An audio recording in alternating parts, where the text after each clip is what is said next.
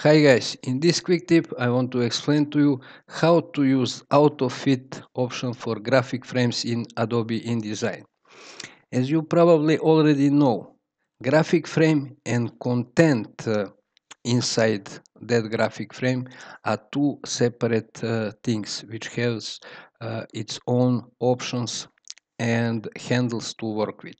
For example, to scale up, down, to rotate or to flip and so on. So uh, let's say, and that is actually case, uh, that I want to scale down this uh, frame because it's a big, it's too big for my design.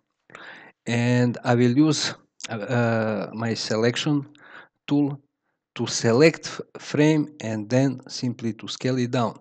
But that will not scale and content inside that frame because those are two separate things.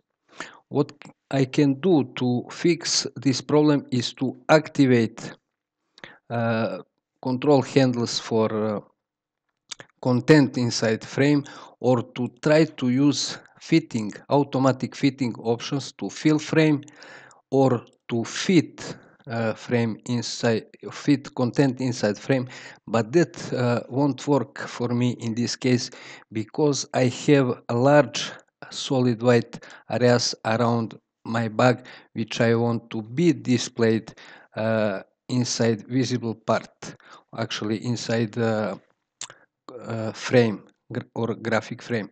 So I will undo uh, scalings and uh, to automate this process of uh, scaling, for example, uh, of uh, graphic frame and content inside, you can use auto fit option, which uh, should be available to you from control panel.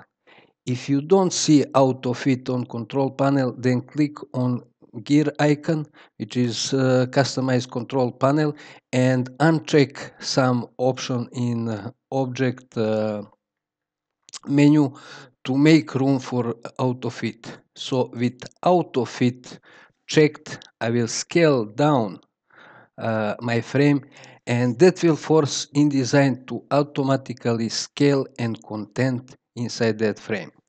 So that's why and how to use AutoFit for graphic frames in Adobe InDesign. Thanks for watching and uh, cheers!